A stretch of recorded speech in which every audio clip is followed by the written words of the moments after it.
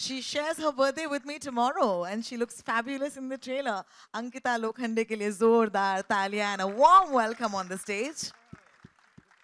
इसी के साथ साथ जिशु सेन गुप्ता जी आपको भी मैं आमंत्रित करना चाहूँगी स्टेज पर आ जाएँ thank you so much for joining us today Mishti hi would you kindly join us on the stage thank you so